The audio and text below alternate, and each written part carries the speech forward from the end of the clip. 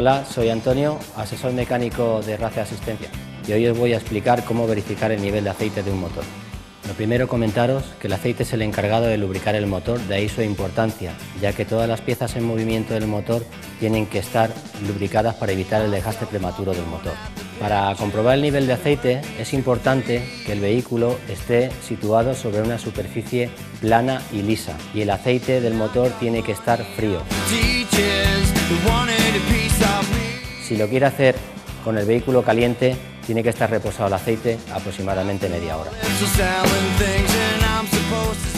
Mi nombre es Juan Manuel, soy asesor técnico del RACE. Les voy a mostrar eh, cómo cambiar una rueda pinchada.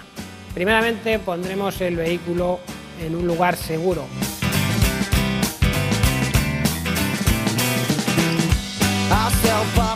Para ello, si podemos salir de la calzada y colocar el vehículo en un sitio llano y firme. Seguidamente pondremos el freno de estacionamiento e introduciremos una velocidad. Sin olvidar colocar el triángulo señalizando la posición del vehículo y también ponernos nosotros un chaleco reflectante. Sacaremos todos los utensilios que nos hacen falta para cambiar la rueda. Entre ellos está la rueda de repuesto y las herramientas gato, llave, tornillo de seguridad. Aflojaremos los tornillos un par de vueltas.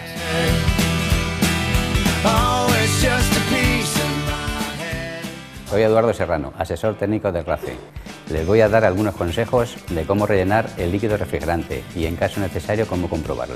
Como procedimiento principal, el coche tiene que estar en sitio llano y el motor totalmente en frío. El circuito de refrigeración es un circuito cerrado, que como norma general no tiene que tener ninguna pérdida. En caso que sea necesario rellenar, hay que esperar a que el motor esté totalmente frío.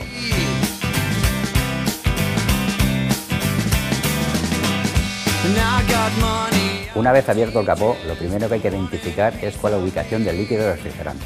Como norma general, el depósito suele ser de plástico transparente, el tapón suele ser de color negro o azul. De todas formas, si se tiene alguna duda, lo mejor es consultar con el manual de usuario. Una vez localizado el depósito, nos fijaremos entre las dos marcas, entre el máximo y el mínimo. Como norma general, el líquido debe ir entre las dos marcas.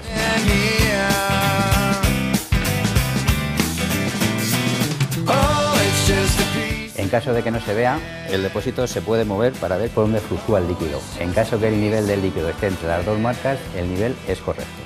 El nivel de líquido refrigerante debe comprobarse de vez en cuando. Si se tiene la certeza que ha bajado, es necesario llevarlo al taller para ver por dónde tiene la pérdida. En caso de reposición, algunos detalles importantes. Utilizar siempre anticongelante recomendado por el fabricante.